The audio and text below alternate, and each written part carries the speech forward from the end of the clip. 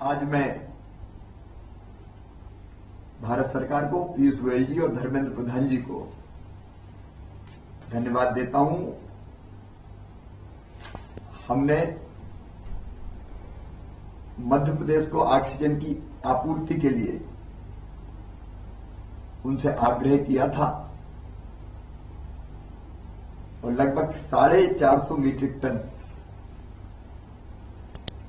Oxygen जिसमें से हमको गुजरात से आईनेक्स मिल रही थी 120 मीट्रिक टन वहाँ से, भिलाई से, राउरकेला, देवरी इत्यादि अलग अलग स्थानों से लगभग 450 मीट्रिक टन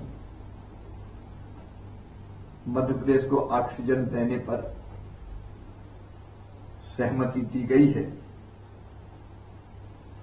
हम इस ऑक्सीजन के परिवहन के लिए युद्ध स्तर पर टैंकरों की व्यवस्था कर रहे हैं।